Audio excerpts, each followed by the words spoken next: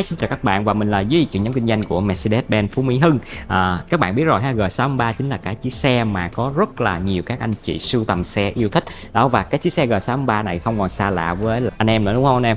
Đó thì với cái xe G63 này hiện tại bên Duy đang có hai cái màu sơn rất rất là đẹp luôn các bạn nha. Đầu tiên thì các bạn sẽ thấy đây là màu sơn ô liu magno hay còn gọi là màu ô liu mờ các bạn. Và tiếp theo nó là màu đen mờ ha gọi là uh, Black night Magno với hai cái màu sơn này thì các bạn đều phải trả thêm tiền các bạn nha. Ngoài cái giá tiêu chuẩn là 11 tỷ 750 thì với cái màu sơn ô liu Magno này thì các bạn trả thêm là 450 triệu.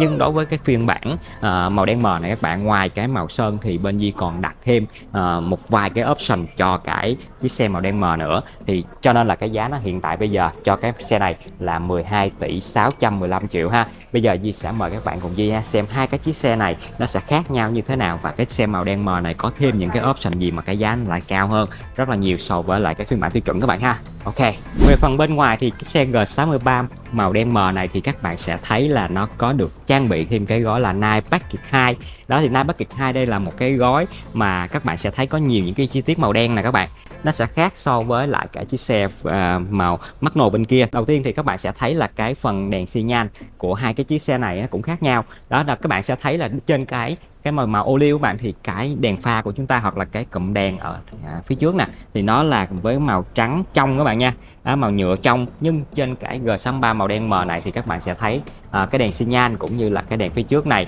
Màu nó hơi gọi là màu khói đi các bạn màu khói để cho anh dễ hiểu ha nó sẽ mờ hơn. À, mờ hơn ha. Tiếp theo nữa thì các bạn sẽ thấy ở cái lưới tản nhiệt nè. À, nó được trang bị cái logo cũng là màu đen luôn đó thay vì là cái logo màu bạc ờ, tiêu chuẩn ha. Đó logo AMG ở đây cũng là màu đen. Đó và các bạn sẽ thấy ở chi tiết ốp cản dưới này các bạn cũng là cái chi tiết uh, sơn màu đen mờ luôn. Nó sẽ cùng màu với lại màu sơn của xe. Đó còn quay lại các bạn sẽ thấy nè ha.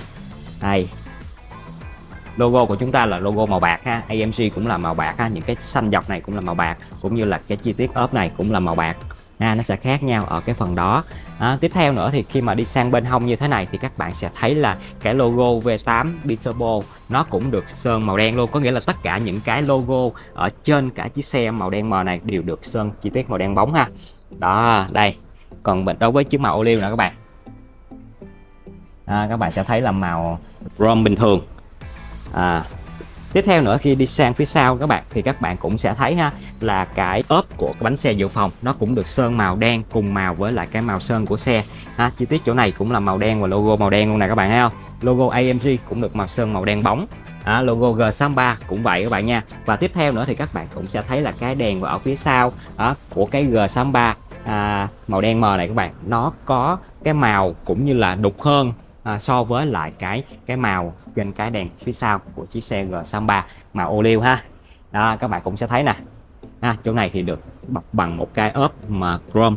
Thì thật sự các bạn đối với những cái chiếc xe được bọc chrome như thế này các bạn thì chúng ta nhìn nó có nét cổ điển hơn ha nhưng mà các anh chị mà um, sưu tầm xe các bạn hoặc là các anh chị trẻ thì thường sẽ thích là cái chiếc xe à, thể thao của chúng ta là sẽ có những cái chi tiết màu đen nhiều như thế này để làm cho cái xe trong nó sẽ ngầu hơn các bạn ha. Đó tiếp theo nữa thì Di sẽ cho các bạn xem ở bên trong phần nội thất của chiếc xe này nó cũng có một chi tiết khác nhau các bạn.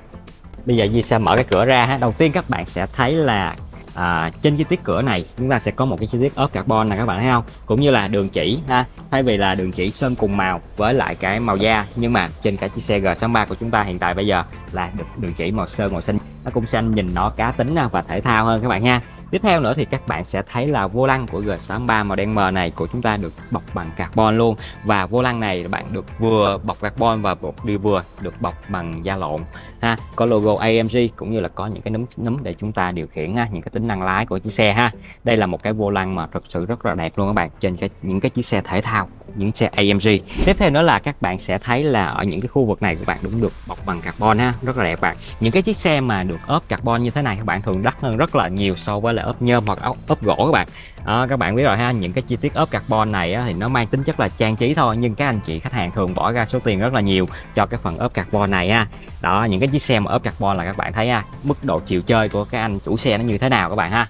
À các đường chỉ trên ghế này các bạn. Cũng thấy là sơn màu xanh lá nè các bạn ha. Những cái đường chỉ rất là nổi bật lên trên cái cái, cái phần nội thất của chiếc xe này luôn. À, xe của chúng ta thì có màu đen ở bên ngoài cũng như là màu đen ở bên trong. Nhưng mà nếu mà cái đường chỉ này được mai bằng màu đen nữa các bạn thì các bạn sẽ thấy là cái nội thất này nó cũng rất là đơn giản rất là bình thường ha. Nhưng chỉ một cái chi tiết nhỏ là là được sơn cái màu chỉ là màu xanh thôi. Đó, nhưng mà với đường chỉ màu xanh này các bạn phải trả thêm tiền nha các bạn chứ không phải là là nó giống như là cái cái cái đường chỉ màu đen đâu. Đó mặc dù là hai cái đường chỉ này nó cũng sẽ bỏ ra cái số tiền như nhau thôi nhưng mà các anh chị khách hàng chọn cái màu chỉ này các anh chị khách hàng phải bỏ thêm tiền. Ha rất là coi như là vô lý ha các bạn nhưng mà nó cũng có lý do của nó ha. Tại sao các anh chị khách hàng phải bỏ thêm tiền để mua cái cái, cái đường chỉ khác màu này? Mặc dù nó cũng không có mang lại cái giá trị gì nhiều cho cái phần nội thất của chiếc xe ha à, mức độ chiều chơi nó rất là là là vô chừng các bạn. Mình không có biết được đâu ha. Còn với phần nội thất trên cả chiếc xe màu mắt nồ này các bạn màu à, ô liu mắt nồ này với nội thất này chúng ta không phải trả thêm tiền gì hết các bạn ha. Đó thì các bạn sẽ thấy là cái màu của chiếc xe là màu à, màu bay ha cũng như là chi tiết này được ốp gỗ màu đen bóng ha à, vô lăng của chúng ta thì là vô lăng cũng được là vô lăng AMG à, và chỉ được bọc da thôi các bạn sẽ không có được bọc bằng da lộn hoặc là carbon ha. Đó các bạn cũng không phải trả tiền thêm cho cái phần này cũng như là những cái chi tiết đường chỉ mai trên cái phần nội thất này thì các bạn sẽ thấy là cùng màu với lại cái ghế da này các bạn nha đó cũng là cái chỉ màu kem luôn ha. Nhìn nó cũng sẽ đồng bộ. Thật sự các bạn mỗi anh chị khách hàng có mỗi cái sở thích khác nhau. Có những anh chị khách hàng thích là à, cái phần nội thất đường chỉ mai nó cũng phải đồng màu với màu ghế ha. nhìn nó sẽ tinh tế hơn. Còn nếu mà có nhiều anh chị thích là à cái màu trường chỉ nó phải nổi lên phải cá tính hơn ha. Mỗi anh chị khách hàng mỗi ngu thôi các bạn.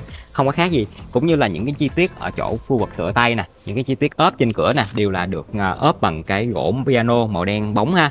Vừa rồi thì Di đã cho các bạn xem sự khác nhau giữa hai cái option của hai chiếc xe G63 này các bạn. Thì đối với các anh chị mà quan tâm tới cái chiếc xe G63 này thật sự chỉ uh, đến để mà xem cái phần màu sơn hoặc là xem lại cái phần nội thất thôi. Hầu như là các option, các trang thiết bị hay là phần động cơ của hai cái chiếc xe G63 này thì Duy nghĩ là các anh chị khi đã chọn cái mẫu xe này thì không còn phải quan tâm quá nhiều về những cái vấn đề đó đâu các bạn.